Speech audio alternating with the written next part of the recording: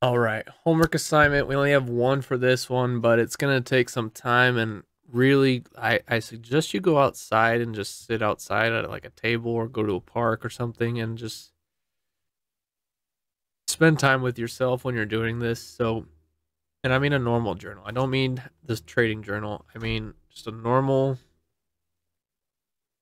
it's a normal lined paper or just blank paper, whatever just something you could write and think about on this. So today's homework assignment is spend time writing and reflecting on all the emotions you feel when trading. Did anything good happen? Did it hold you back? How can you be more aware and move forward when these feelings arise again in future trading scenarios? So I'll give you an example.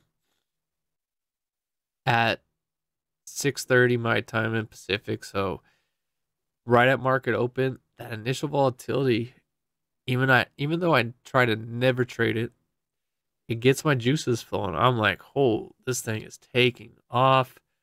Did I already miss the morning move? And then most of the time it reverses and go the other way, or it has a decent sized pullback and then continues on forward. So I write about that when I see price move quickly, I get my anxiety kicks in. I feel like I'm missing the main move during my trading session. And how do I overcome that? Well, usually that first impulse is not the right impulse to take for that day because usually it either is going to reverse, it may go into some chop before it picks a direction, or it has a big pullback that would have me in a big drawdown, second guess a trade, only for it to continue it up. And I, I, I recognize that anxiety building up, and I try my hardest not to get in impulsively into a trade when that arises. So just write it all out at all your feelings when trading, some scenarios, how you're going to recognize and overcome that. And you should have a decent journal session and really understand yourself as a trader. This is what's going to help you develop forward as a trader. So don't don't skip out on this homework assignment. Spend time. Make sure you do the quiz.